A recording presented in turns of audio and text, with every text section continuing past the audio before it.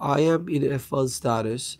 May I travel outside the United States? The answer will be yes. You may travel outside the US uh, when you are in F1 status. However, in order to return to the United States, of course, you have to have a valid passport and valid F1 visa stamp on your passport and current SEVIS uh, Form I-20 signed by appropriate your school officials, uh, your DSO, and a new SEVIS Form I-20 if there have been any substantive changes in your course of study or place of study, and of course, proof of your financial support.